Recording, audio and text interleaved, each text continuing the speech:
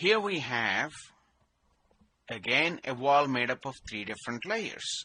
The first layer is wood siding, which is outside, obviously, and its R value is given as 0.81, whatever the thickness might be of that wood siding.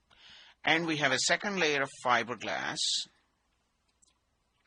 and this fiberglass thickness is given as 5 inches and its R value is given as 3.7 per inch. So we are using 5 inches, 5 times 3.7 would be 18.50. And we have a third layer of a drywall. And this drywall has an R value of 0.45, half inch drywall.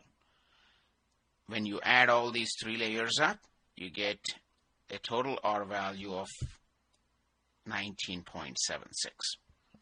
So the answer is 19.76 degrees Fahrenheit foot square hour over BTU. This is the composite R value.